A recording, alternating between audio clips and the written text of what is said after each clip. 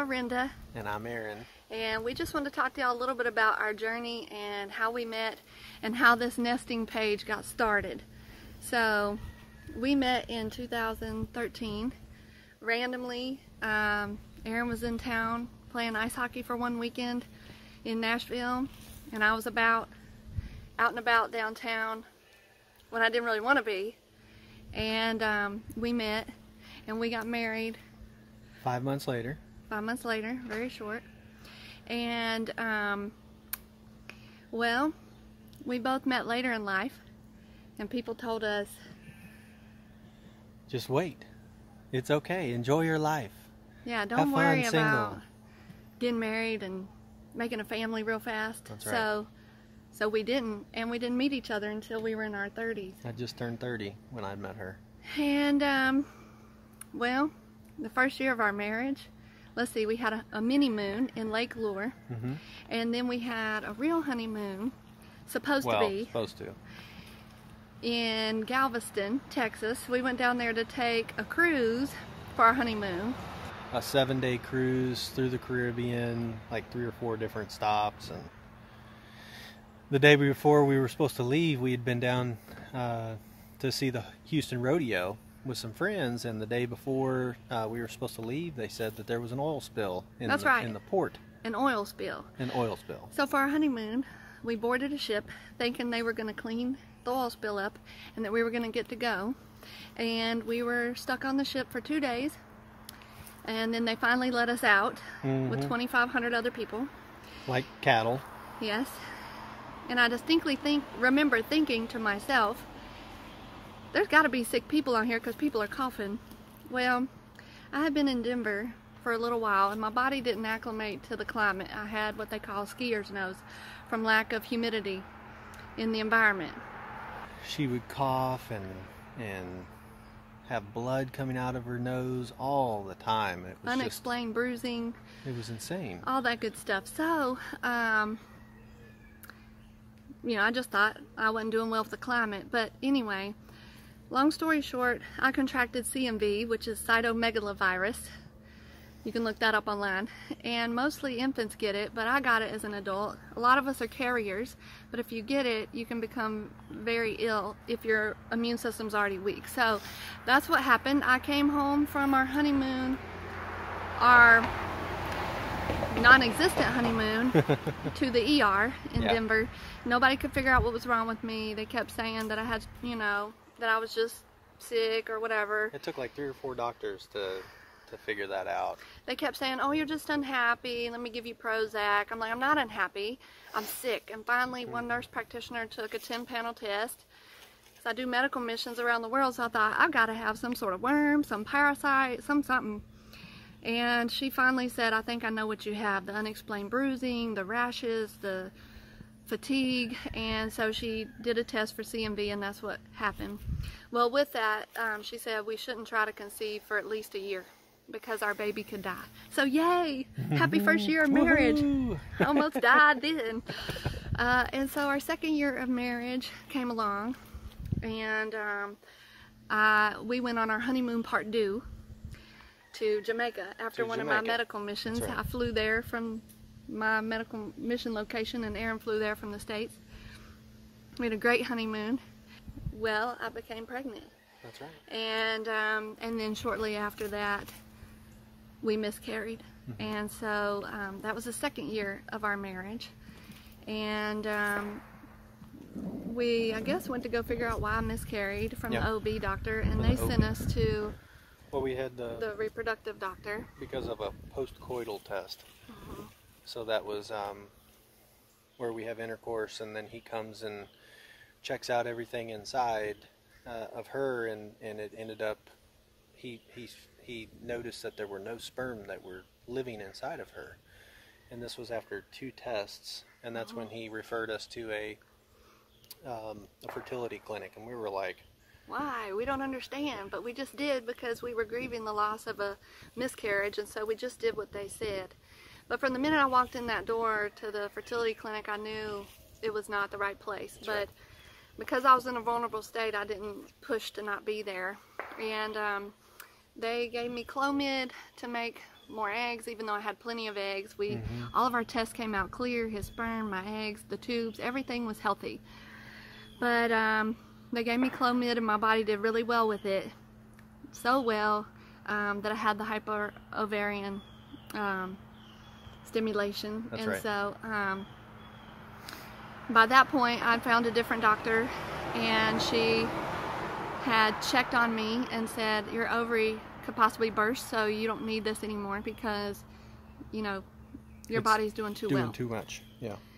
So after that point, we stopped taking that, and um, which we didn't know why we were taking it in the first place. And then I hemorrhaged, and so I felt like I almost died that time too. Was on iron, missed a medical mission, was really really unhappy, hemorrhaged again, and they said we're gonna have to do a DNC and take out that lining because nobody can pass that. And Aaron and I prayed, and we are on the phone with my mom as well, and she prayed. And then by the grace of God, I passed it on my own because that following Tuesday I was supposed to have surgery. Mm-hmm. We'd already done the pre-op appointment, and I have some pseudocholinesterase deficiency, which means I don't process anesthesia well. Basically, I vomit all the time. So I really was not looking forward to surgery. So we went in there, and it's the one appointment. hmm The one appointment I didn't go to, I've, I've, I was diligent to go to every appointment because I wanted to be involved with the whole process, and, and you know, there's sometimes where she doesn't, um, well, just sometimes her memory gets gets lost on a couple things, so it, it was helpful for me to just be there and and we could both Like rack things off of each other. things. Yeah, yeah. Well, this is one appointment he didn't go to, and my doctor checked inside me before surgery and said, "Well, there's nothing to operate on; it's gone." And I was like, "That's right, praise God." So my mom and I were high fiving. The nurse was asking if she could share our miracle because I'd passed what they said that I couldn't pass, and that's because God was there with me through that whole journey. That's right. And from there, we were like, "It's time to just heal." So for Yeah. Long time, we just six plus months, we didn't do anything except try naturally. So. So that's when we took a break for about six months or so and didn't do much of nothing and except naturally and then started looking at different avenues for conception. And so we looked at um, IVF and IUI. We really weren't sure um, how we felt about those things, how God felt about those things. So we had to really search and pray Yeah. for that. And then we looked at adoption, although Aaron wasn't wanting to adopt at first. I knew I wanted to always adopt, and we talked about it, but always just thought we would have our own first and then adopt. And, uh, And for me, I didn't care which way because I've done missions before and see children around the world that need homes. So I didn't care one way or the other. I knew I was going to adopt either before or after we were pregnant. Yeah, just Well, so we had that door open. work on that.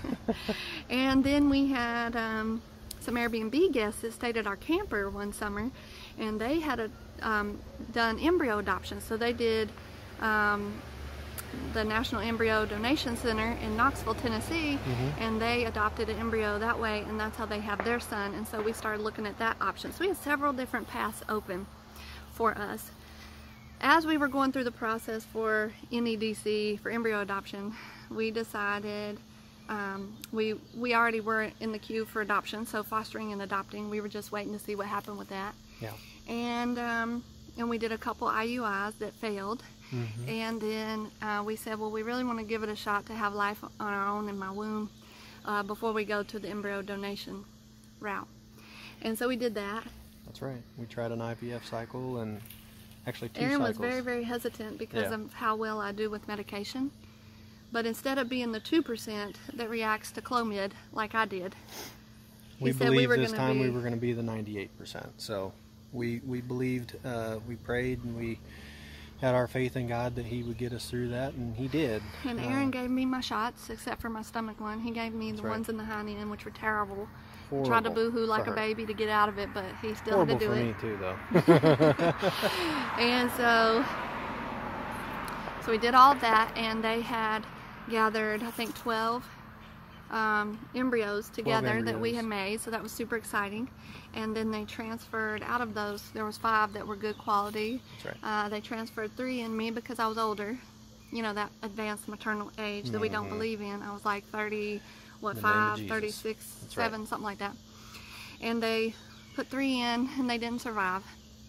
And then the next cycle, one didn't survive thawing, and then they put one in and it also didn't survive. So we right. didn't really know why. You know, Yeah. out of all five the- babies we had made, plus Especially when the the doctors naturally. were like, "It's going to work this time. It's going to work," and Mhm. it's just it didn't. So it was definitely frustrating. And Yeah. but we got through it. Um, and to have that natural pregnancy that failed and then have you know four put in me that failed i was really thinking to myself there must be something wrong with my immune system or something fighting off things and um, that's always been in the back of my mind Mhm. since that first postcoital test um, but nobody ever seemed to think that was an issue so from there uh, that was in 2017 early 2017. that 2017. was like mid, I think April, May, something like that. And then all of a sudden, um, I was leading the ladies' life group, and in um, we had been with another adoption agency for about 13 months, and in October had swapped over to Bethany Christian Services, and then we were the fastest adoption they ever had because we got a call on December the 18th saying you've been selected and we were like, okay. And they wanted us to come into the office The and next meet day. the birth parents the next day. So the next day we went in and met the birth parents at two o'clock. We spent a couple hours with them, and at 4:15 p.m. I was driving home, and um, we'll tell more about this adoption greeting story with uh, birth parents later. But um, at 4:15 p.m. when we left, uh, we got a phone call, and the funny part about that was is that I was joking with the birth parents. They were asking, "What are you going to do for Christmas?" And I said, "Well, we're going to go home and spend time with my mom in East Tennessee." And I said, "Unless you know Unless you, you give us a baby," yeah.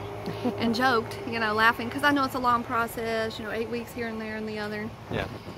Well, I guess the joke worked. I don't know. God had his plan. So we found out at 4:15 p.m. on December the 19th that we were going to be parents of a three-week-old, seven-pound baby boy. Boy, and so the next morning we were scheduled to go to the adoption agency. The parents, birth parents, wanted to hand him to us and have a ceremony, which was really unique. Uh, it was already unique that there were two birth parents, so we felt really blessed. And so we went the next day. Babies R Us opened at 9 a.m. We were there right when they opened. That's right. We got the essentials. We got a car seat, bassinet, formula diapers, and wipes. And then we got one Christmas outfit. So, and the guy there was an angel. He came out, helped us shop for things. We had no clue what we were doing. James, right? James was his name, and um, he was an angel sent from God. Helped us get all these demo models and all that. And we then, ran in there like, "What's going on here?" And this guy just swooped in and said, "Okay, here's here's what we're gonna do." then we showed up at the agency at 11 o'clock, and so from 4:15 p.m. the day before to 11 o'clock, we had to become parents. We had no nursery. We didn't know what age child we were going to have, um, but God provided everything we needed, and people showered us with the things um, that we needed, and, and we were so excited that we could keep our son Thompson right. alive for That's that first 24 hours. So, so then we understood really in our minds that's why our IVF processes didn't work.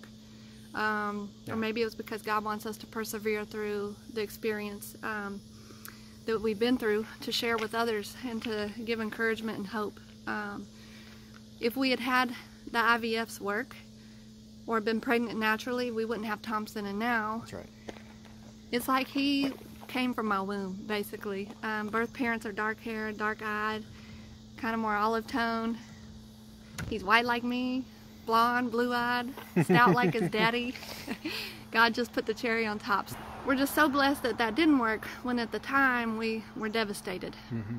And so we just want to encourage you to hold on to the journey that you're on. It may not seem like what you think it should be, it may mm-hmm. not feel good, but God is with you. That's one thing I learned, you know, when I was dying of CMV, when I didn't think our marriage was going to survive, when I hemorrhaged and bled out and almost died. Like I've almost died like every year of our wedding or marriage, every year take of our marriage take, Yeah. for like four years, you know, when all that didn't happen, I thought, where are you, God? When really he told me I was with you the whole time. Mhm. And so just hold on. Just know he's with you. Um, from that point, we were raising up Thompson, you know, for like two years. And then we thought, gosh, you know, we still aren't pregnant, even though we've been trying naturally. So we went back to get checked out. And now at this point, my eggs are getting old, Joey. Like, whereas two years ago, they weren't. Which we don't really care because, you know, I don't feel old. That's right. And um, I'm still healthy. And God's still the divine physician. But it still stinks because it's like, okay, if it didn't work years ago when I was perfect data, perfect health, how's that look now? And so we went through a couple IUIs and they didn't work. And we said, we're not ready to move through IVF yet. Although I did research a facility in Barbados that does um, fertility, and they were super awesome. We've been in touch with them recently. They've been so compassionate, so caring to look at our tests, to look at our records, and not just label me as old. Mhm. When I'm like, he the same age almost. Like, why ain't they talking about him being old? It's always the, the woman. Anyway, soapbox. But basically, I said, I think my immune system's killing off stuff. And they said, well, we've got a test that will tell, you know, if that's the case. And so we did blood work, had that sent off, and has different parts of that that can tell if your immune system's fighting off things. Yeah.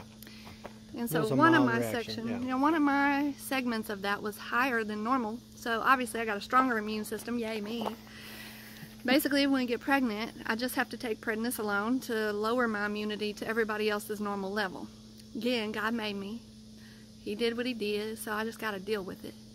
But it seems like every step we take that we get a little bit more information to the jigsaw puzzle of Mhm. this journey. And my goal is to not be like, okay, when I'm 40 coming up in September, I'm done. Although I might be back on here and be like, I really am done. Like, I'm not trying no more. if I could just keep hanging on for those puzzle pieces to figure out what's going on um, and just have faith in the journey, that's where we're at. And so, back when, I guess, before we had Thompson, our church was holding a baby night every year, every November. Mhm. And tell them a little bit about what that is, Aaron. Yeah, it's just um, it's where um, families come in, some that uh, are thinking about having a baby and just kind of on the fence, uh, couples that are actively seeking to have a, a child and either just close into it or, or long into it, and then um, for families that are currently pregnant and just um, it's just a night of prayer and and um, And covering. covering um, for everybody and time of worship to to celebrate God's um, divine power and and just the the miracle of birth. Um, it's it's always it's always been helpful for us, even though sometimes we we haven't been wanting to go because you know that it's been year after year that we've gone to this thing. And year after year we see the people that we were standing in line with um, seeking for for a baby. And and those baby those they would have success stories by the end of the year. And and and we, hadn't got weren't there pregnant. yet so, well, one year I was like, okay, God, I'm, I'm just not going. And he's like, yes, you are. And you know, like when your father tells you to do something, and you know you're supposed to do it, it was like that. that's right And I was like, I don't have no baby to show for it, you know. And God told me, He's like, but you have faith, and that's what you need to go and do. So I told Aaron that that I needed to go and share that. And he's like, okay. When we got there, I was like, no, I'm I don't need to share. And he's like, the guy said, I was like, okay. So I, we did. We got up there and we shared how we'd been there many years through this baby night, and we weren't standing up there with physical baby in our hands like the others. We were standing there saying, although we don't have that baby in our hands, we have the faith that God is going to provide that life. yes And then shortly thereafter in like a- December, it we like 18 days later 18 days later we were given our son. yeah And um, that's just to show that we still pray, we still hope. Mhm. Everybody's journey is different. It doesn't mean one's right or wrong. At that point, we created a group called the Nest. Mhm. That's kind of where this nesting tab came from. We created a group called Nest for people who were like us, who, you know, get married, think that the pregnancy journey is going to be easy. You're just going to get married, have babies, and yay. Nobody ever tells you that's not the way it is. And we wanted a place where people could come who've been trying to conceive for a year or more without success, those who had miscarried, or those who were seeking information on fostering and adopting. Yeah. And we were like, God, we ain't the experts on this. Like, how are we going to run this group? But But we wanted to do something because we'd been through this journey and felt like we had done it all through all by ourselves and, and there were mm-hmm. things along the way that looking back we could have said or we could have we could have seek guidance from from a couple to say hey this is what we're thinking or what's the proper steps and we just didn't have that and didn't know where to go for it so yeah, we didn't even know people miscarried until we miscarried. right. And then people came out of the woodworks Oh, I had talking two about miscarriages. I've had three miscarriages, and it's like, wow, Mm-hmm. just opens opens up a new perspective when Mm-hmm. things like that happen. It's it's it's nothing to, to be ashamed of. It's just We wanted to support people who right. had didn't know where to start because that was us. So Nest Group's been going on now for about two years now. about two years now, and we have had between like five and seven couples at any given time. And couples will come and go. We've had couples who've had um, successful pregnancies um, with babies, and we've had people who've had losses, and we've had people who are still trying to conceive, and we've had people who've decided to adopt. So this group's been going on two years, and as we said, we've had a lot of different successes. We've had challenges, but the cool part is is that we get to go through those things together with other people, and they get to go through them with us. So we're not the only ones praying for them. They're covering us with prayer. We're seeking God's word. And so part of this nesting tab is to help give you some resources of places to go for some support, uh, places to seek strength and comfort in difficult times, and just to let you know you're not alone. Um, I find that this process ebbs and flows. Some days we're like, yes, we got it. Like, we can make it another day and we can try some more. And then some days I'm like, I'm done. Like, I'm just thankful for what God's given me and then move on. And we just want you to know it's okay wherever you're at, whatever spot you're in. Um, and so that's why we created this video is to encourage you, tell you a little bit about our journey, and to show you um, about our nesting process. That's right. Hopefully, throughout the future, we'll be able to share some more of our journey. Um, and most recently, we have just been um, getting the results from that immune test and then um, seeing some natural um, doctors for chiropractic and for acupuncture for me, which I really enjoy, which is a change from the other stuff. And and then most recently, I had a hysteroscopy where they found some polyps, so that's going to need to get removed. And um, it just goes to show that you know you don't know what's next. Um, but I'm taking it one step at a time. You know, right. tracking the basal body temperature. You know, looking at Taking cervical mucus. You know, doing vitamins. You know, doing all of these things and just take them one step at a time. In the meantime, enjoying the family we have, um, being with Thompson, um, and just knowing that he's going to be blessed one day uh, with a sibling. That's And we're just going to have faith that however God brings that, whether it be embryo adoption in the future or adoption or fostering or naturally in our womb, um, that that will happen. Right. So we just wanted to share a little bit about our journey. We want to encourage you and um, Yeah, are just- thinking about you during this time. That's right.